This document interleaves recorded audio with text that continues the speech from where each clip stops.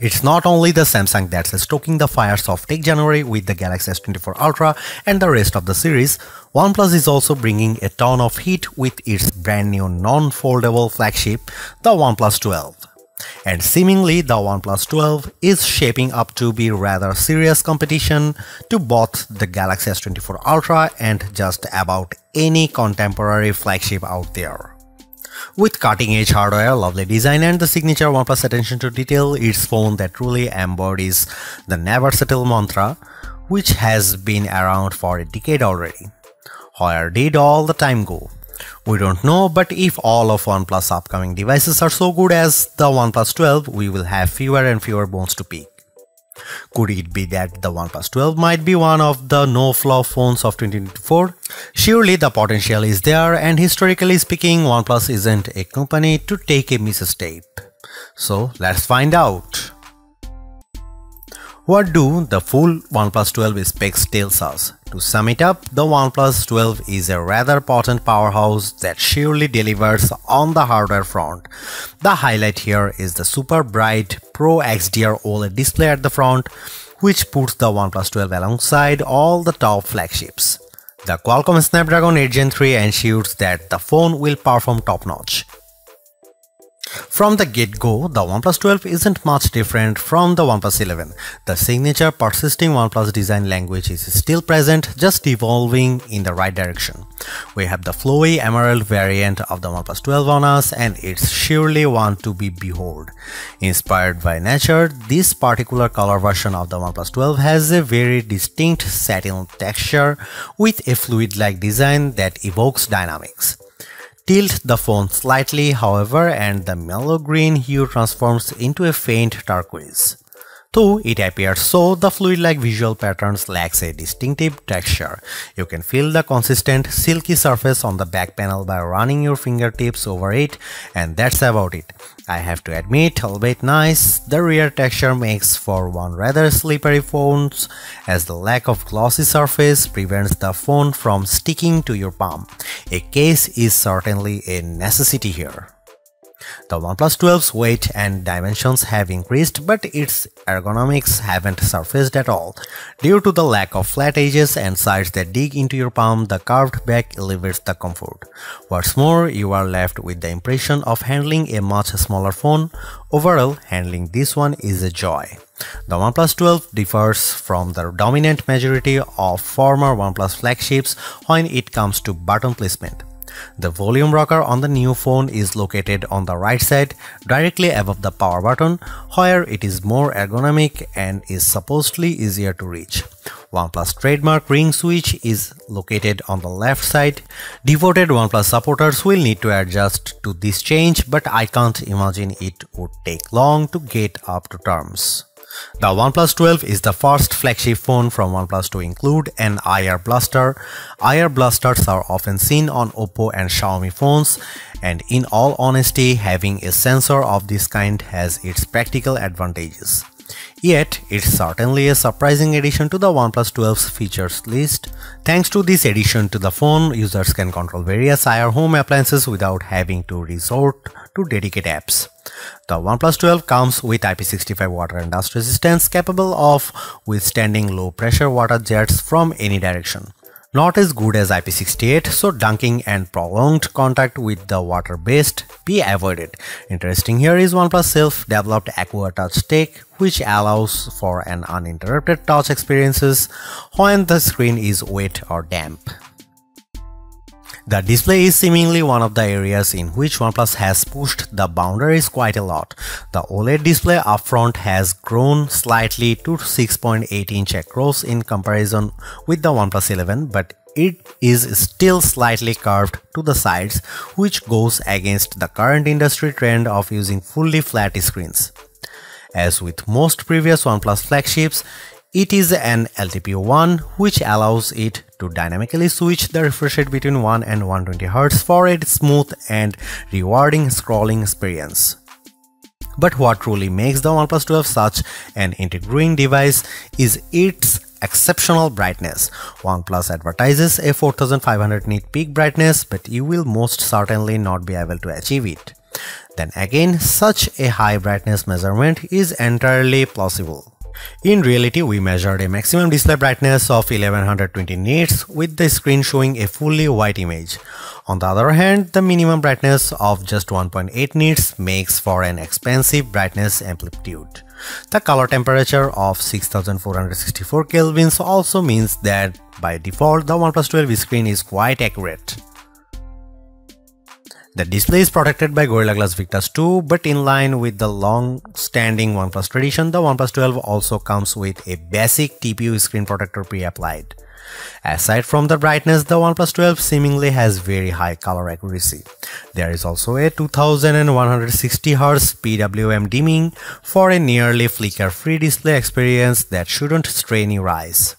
There is also BOE single pixel calibrating technology which makes sure that each display subpixel gets calibrated independently for a more accurate image. The ultrasonic fingerprint scanner embedded into the display is fast and accurate, unlocking the phone instantly and rarely requiring a secondary scan. An even faster but certainly less secure face unlock solution is also on board. The OnePlus 12 comes with a brand new 50 megapixel main camera powered by one of Sony's new camera sensors, the LYT-808 of the same sensor family as the Light T808 that powered the OnePlus Open's main camera and delivered lovely image quality and overall camera performance. Both these sensors are Sony's latest, however the OnePlus 12's LYT-808 sensor is not stacked, so technically the OnePlus Open remains the better equipped OnePlus phone. The main camera of the OnePlus 12 is also a bit wider at 23mm and comes with a faster f1.6 aperture too which suggests very good low light camera performance. Aside from hardware improvements, OnePlus has also thrown in a number of software and image processing improvements. A brand new HDR algorithm promises much better image processing when shooting in scenes with extreme lighting. OnePlus says its HDR processing is AI powered, so the phone understands what it sees and applies just the necessary edits to achieve a more natural look. OnePlus has also slightly boosted the megapixel count of the ultra-wide camera from 48 to 50 megapixel, but this doesn't deliver any major improvements in terms of image quality. The OnePlus 12's ultra-wide angle camera is slightly narrower than the OnePlus 11's, 114 versus 115 degrees so you can fit marginally less in the frame on the newer phone. Autofocusing works from just 3.5 cm or an inch and a half so macro shots could be taken from up close. Finally and most importantly a telephoto camera with 3x optical zoom is finally coming back on OnePlus flagships. After debuting on the OnePlus 7 Pro years ago, the telephoto camera fell out of favor resulting in a OnePlus 11 with a measly 2x telephoto. While not as impressive as the 5x periscope on most flagship phones these days like the iPhone 15 Pro Max, Galaxy S24 Ultra and Pixel 8 Pro. Here are some camera samples and camera comparison, so check them out.